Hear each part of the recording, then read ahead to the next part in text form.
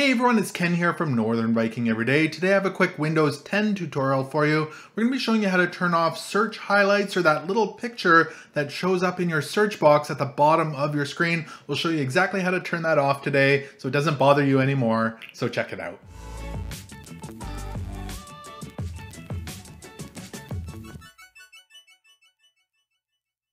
Alright, so here we are on my Windows 10 desktop, and in order to get rid of our search highlights, or this little picture that shows up here and pops up automatically when you hover over it, what we need to do is go down to our taskbar here at the bottom, so not where there's icons, but find a blank area here, and we're going to right click in this area with our mouse, so just go ahead and right click, and a little menu is going to pop up for you that'll look something like this.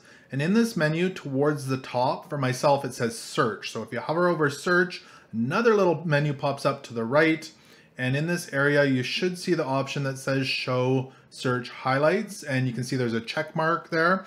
If you go ahead and left click on that, all of a sudden the search highlights disappear here and it's gone. It's really that simple to do. If you do want to put it back, do the same thing in reverse. Just go ahead and right click in this area, go up to search, and show search highlights, just go ahead and left click there and the search highlights will come right back. And it's really that simple to turn off search highlights here in Windows 10.